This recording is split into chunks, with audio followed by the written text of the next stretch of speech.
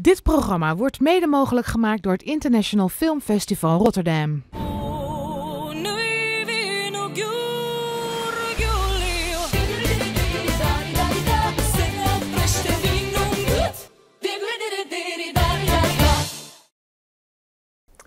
Welkom bij Big Talk. Tien dagen lang worden tijdens het International Film Festival Rotterdam de meest bijzondere films vertoond. En iedere avond in het Oude Luxor interviewt Hans Maarten van der Brink een belangrijke gast van het festival.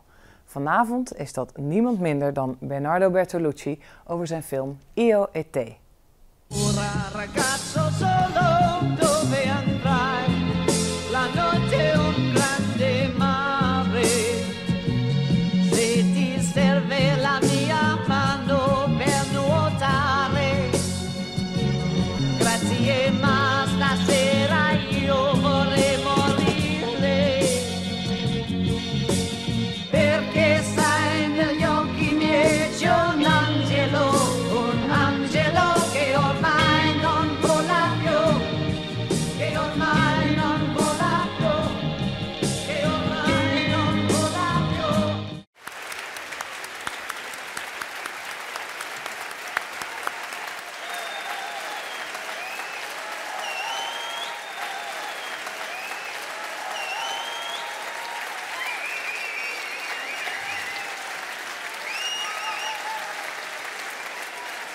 Thanks.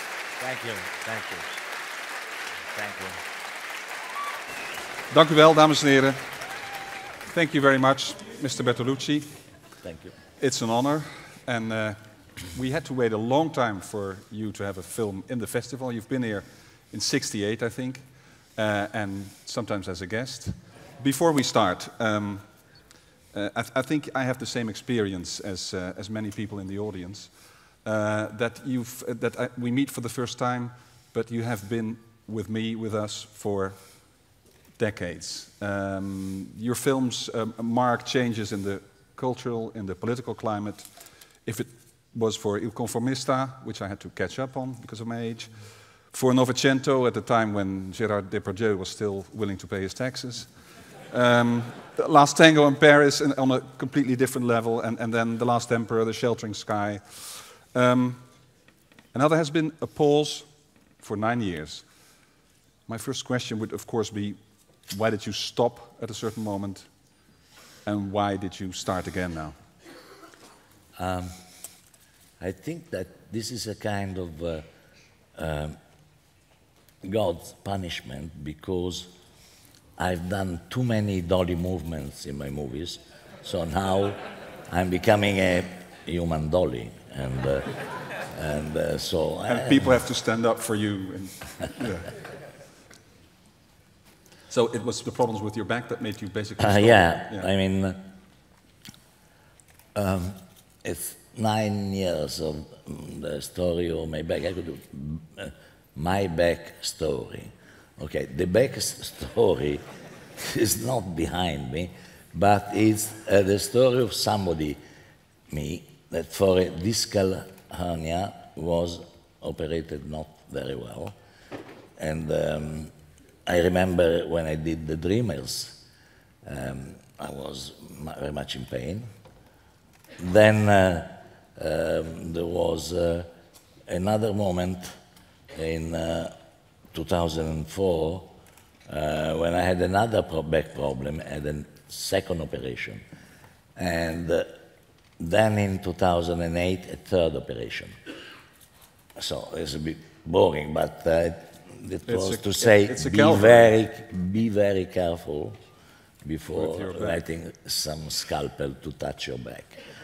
And uh, when four years ago I had to go on this chair, um, I thought, uh, okay, it's the end of, uh, um, of me as a director, as a film director. I will have a lot of time to read all the books I haven't read, and, and I gave up in a way. No, I want to, to tell if somebody is in my condition, um, I think the, it's very important at a certain moment you start to accept that condition. And, so and then the you have, moment room, you have room again for. Then the moment I accepted the bloody wheelchair, uh, I started to think, but it's okay.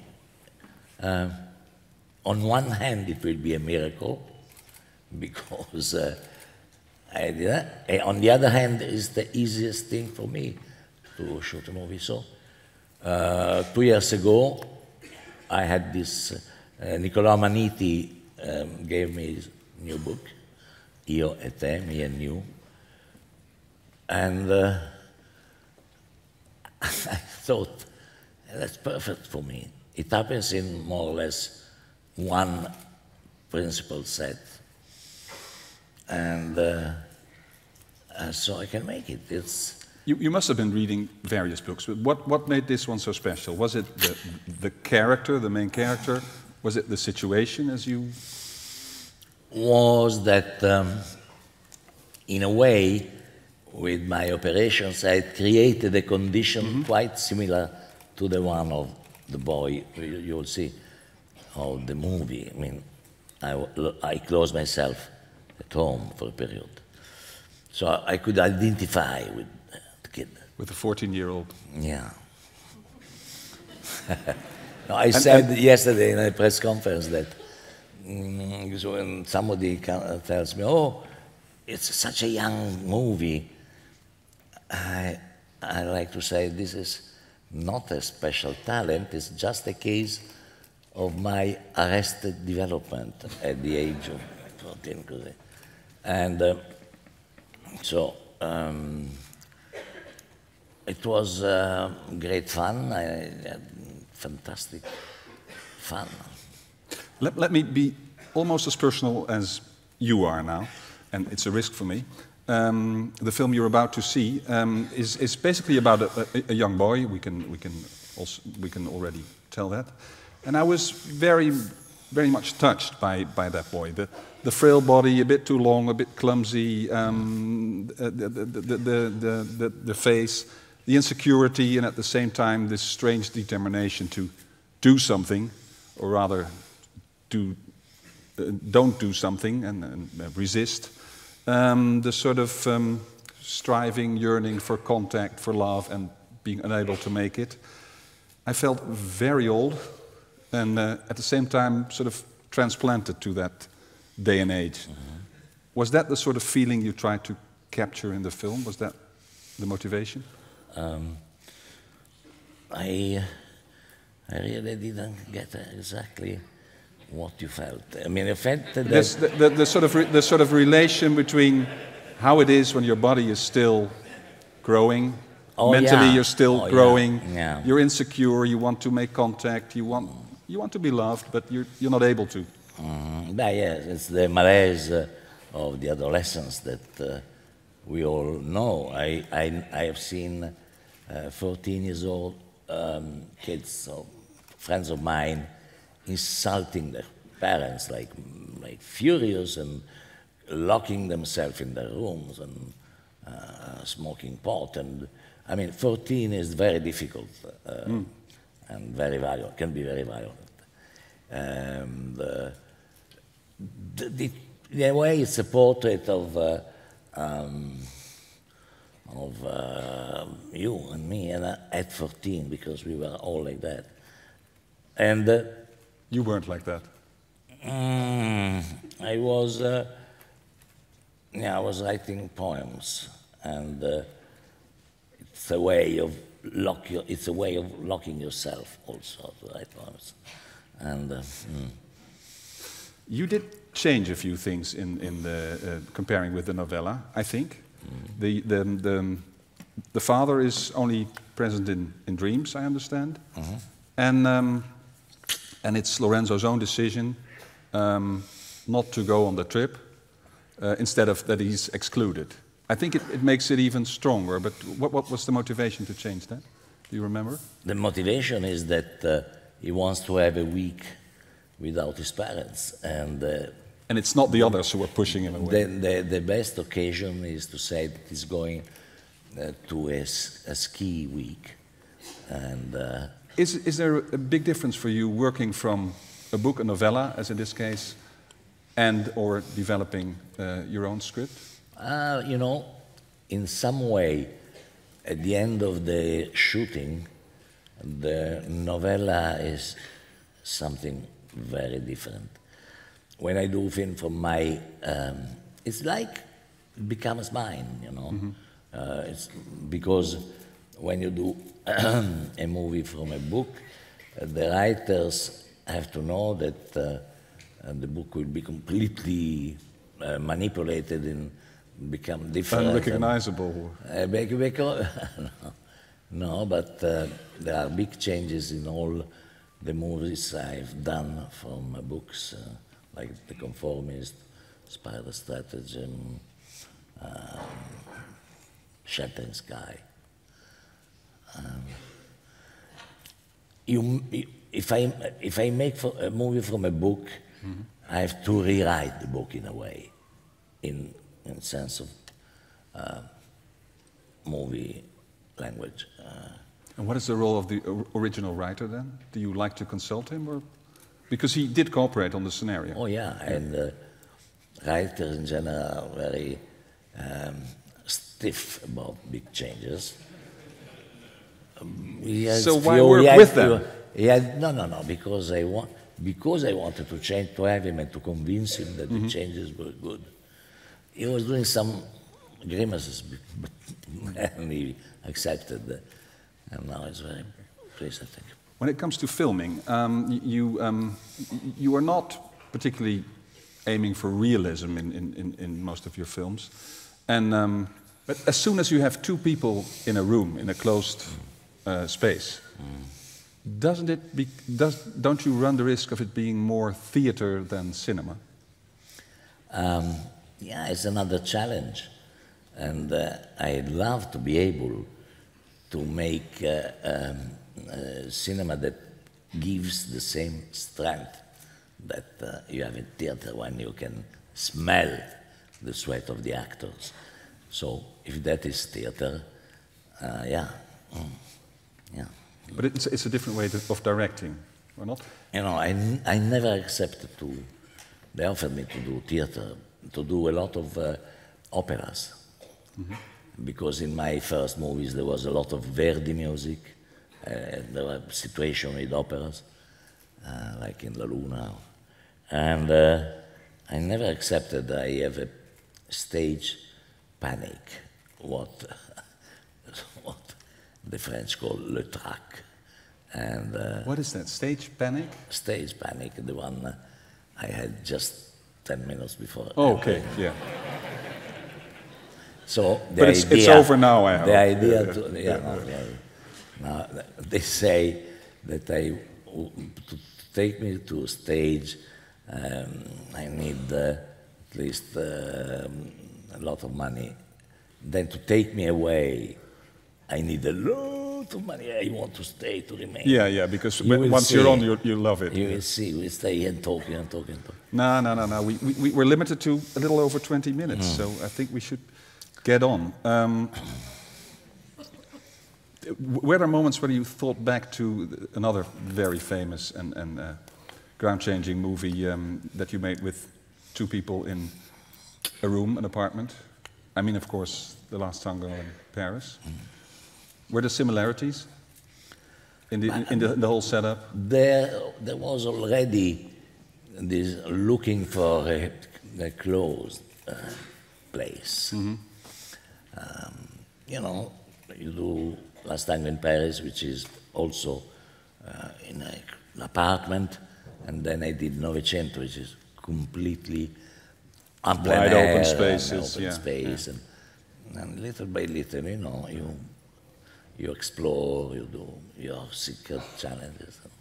Can you do more improvisation in, in such a small space?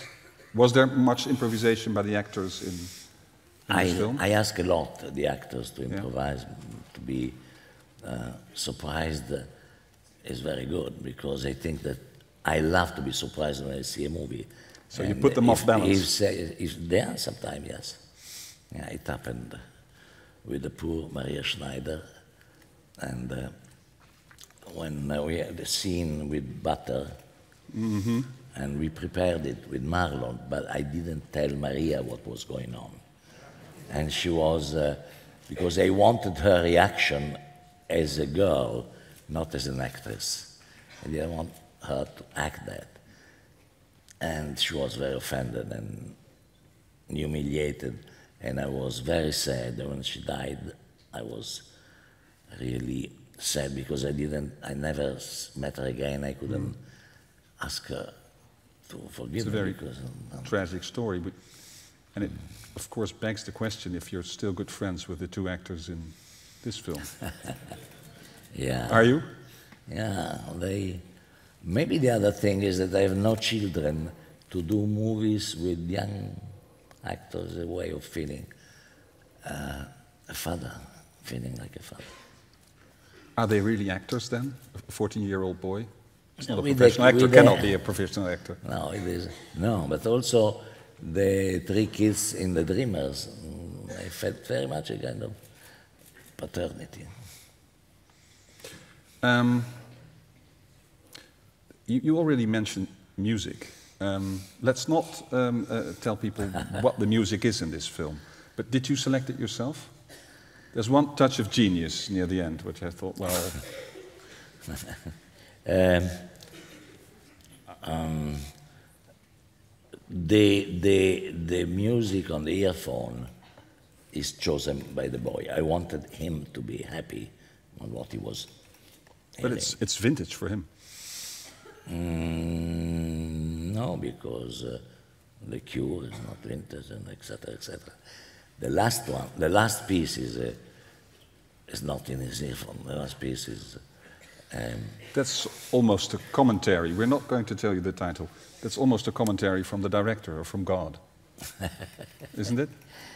It's uh, something written in '69 and I know, re- and uh, registered um, done in '69, and tells the story of of, Of- the film. Yeah. yeah.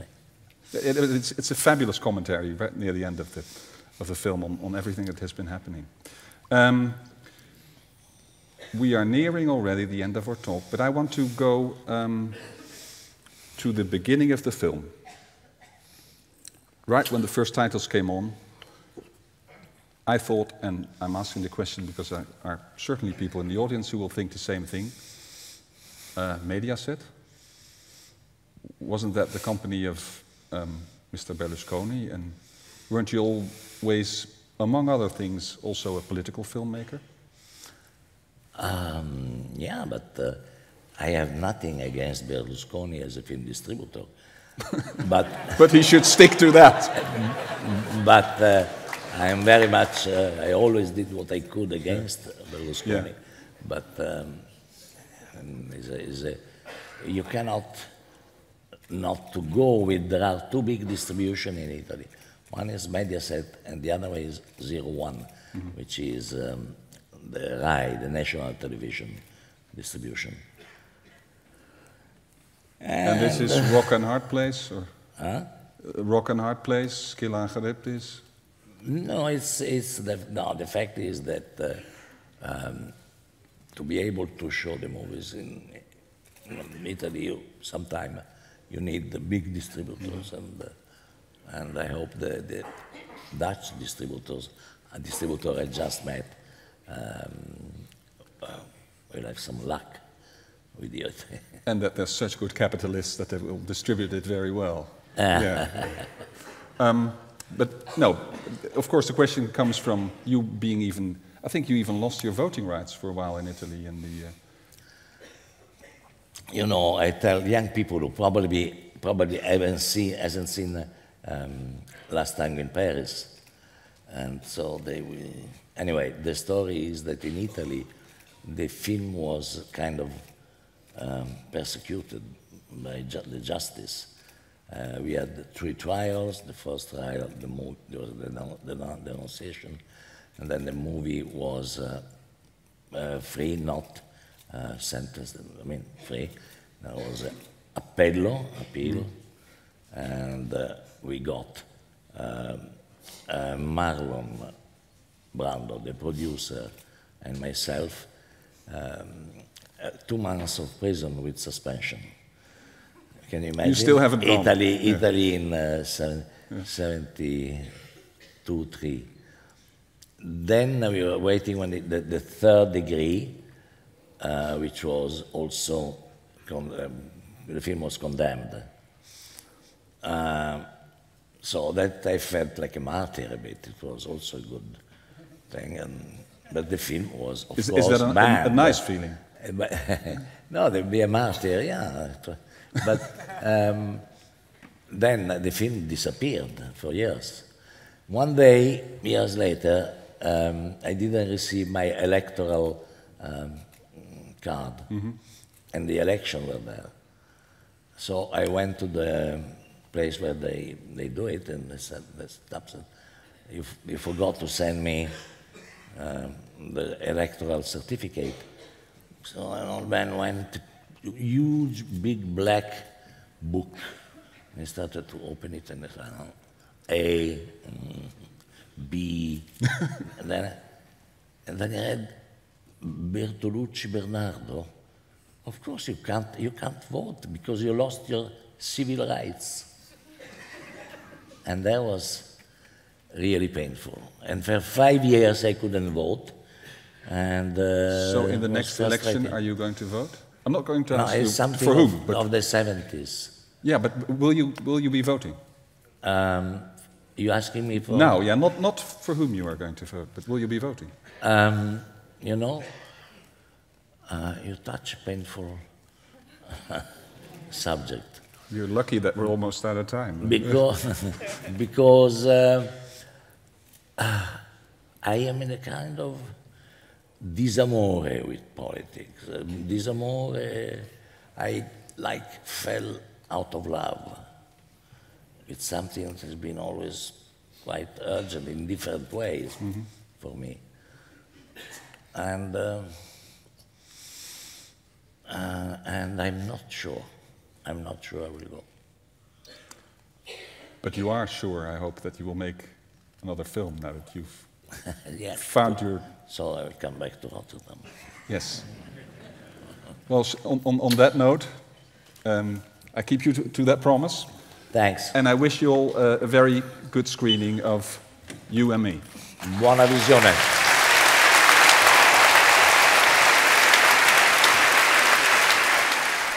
De nachtfilm die u zo gaat zien is van de Egyptische regisseur Ibrahim El Battout, Hawi, uit 2010. Hawi is een mozaïekfilm over het hedendaagse Egypte. Een film waarin iedereen op zoek lijkt te zijn naar iets of naar iemand. Eenzaamheid en wanhoop in het Egypte van nu.